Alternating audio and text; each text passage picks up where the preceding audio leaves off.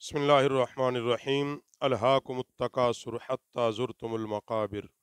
کلا سوف تعلمون ثم کلا سوف تعلمون. کلا لو تعلمون علم اليقین لتربن الجحیم. ثم لتربنها عین اليقین ثم لتسألن یومئذ عن النعیم. الحاکم التکاثر، تمہیں غافل رکھا مال کی زیادہ طلبی نے حتیٰ زرتم المقابر، یہاں تک کہ تم نے قبروں کا منہ دیکھا۔ یاد رکھو، یہاں قرآن پاک جو بات کرتا الحاکم التکاثر۔ تمہیں غافل رکھا مال کی زیادہ، طلبی نے۔ کثرت دولت کی طلب۔ انسان کو آخرت موت اور قبر کو بلا دیتی ہے۔ اور یہ ان لوگوں کے لیے جو دولت اکٹھی کرنے کے چکر میں موت کو بھولے بیٹھے تھے، فرمایا، حتی زرتم المقابر. تو مال اکٹھے کرتے کرتے قبر میں چلے گئے، موت آ گئی۔ نبی کریم صلی اللہ علیہ وآلہ وسلم نے فرمایا کہ بندے کے ساتھ تین چیزیں جاتی ہیں۔ ایک قبر میں اس کے ساتھ رہ جاتی ہے، دو واپس آتی ہیں۔ عرض کی، یا رسول اللہ صلی اللہ علیہ وسلم، تین کون سی؟ فرمایا، اس کے ساتھ اس کی دولت بھی جاتی ہے۔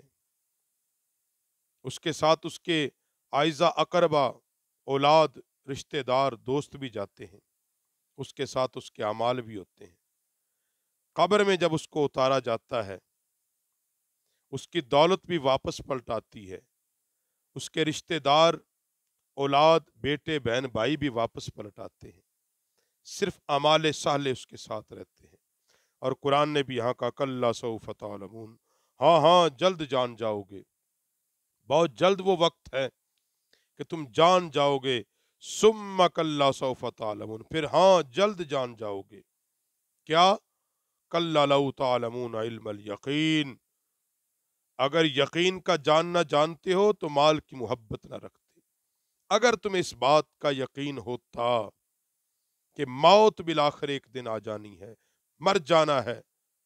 یہ جو کچھ ہے، میں اکٹھا کر رہا ہوں اور مال اکٹھا کرنے کے چکر میں میں بھول گیا کہ اللہ نے مجھ پر کچھ اور بھی چیزیں فرض کی تھی۔ تو فرمایا، اگر تیرے دل میں ایک رائی دانے کے برابر بھی موت اور خدا کا ڈر ہوتا، پھر دنیا کی محبت تو اپنے دل میں نہ بساتا۔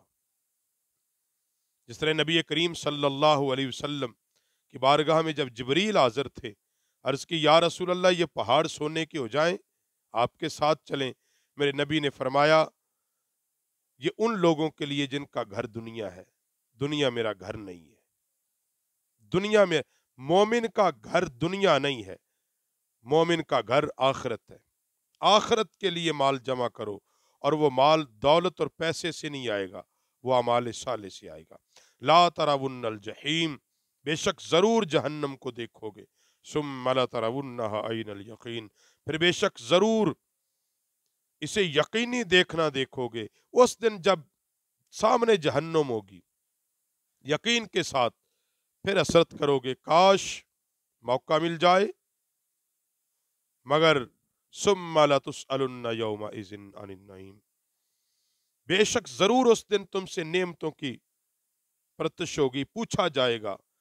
نبی علیہ السلام نے فرمایا، اللہ قیامت کے دن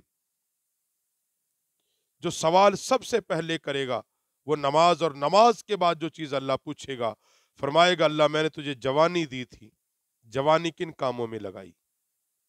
میں نے تجھے دولت دی تھی، دولت کے انبار تھے تیرے پاس، سونا، چاندی درم و دینار، کہاں خرچ کیے؟ حساب دے۔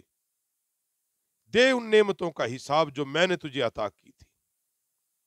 اگر اس دن حساب نہ دے سکا تو پھر کیا ہے؟ سم عین الیقین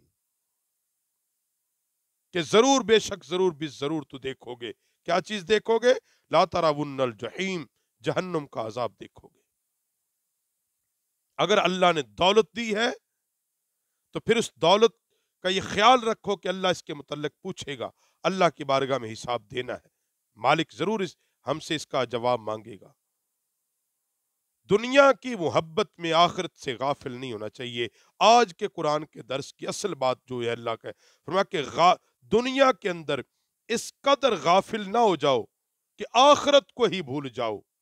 بالکل آخرت تمہارے دماغ سے اور موت تمہارے قلب اور روح سے نکل جائے۔ اگر ایسا ہوا، پھر جہنم سے یہ دولت نہیں بچا سکے گی۔ ہاں دولت ملے، پھر اس دل میں موت کا اور آخرت کا بھی ڈر رہو۔